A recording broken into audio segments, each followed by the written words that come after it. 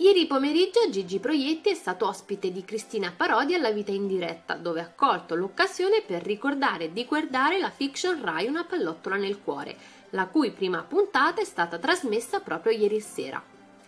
Il grande maestro ha raccontato alla Parodi i ricordi del passato, sempre sul palcoscenico insieme ai suoi pupilli come Insin, Brignano o Gabriele Cirilli.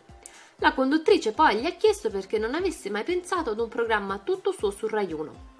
Il comico ha ammesso di aver paura. Uno one man show su Rai 1? Me lo chiedono, ma si è già fatto un po' tutto, ha spiegato, anche se mi piacerebbe sistemare il mio repertorio. Vorrei racchiudere in questo possibile programma ciò che ho fatto nella mia carriera, chissà. Sicuramente sarebbero milioni gli spettatori incollati al piccolo schermo per vedere uno dei personaggi più amati di sempre.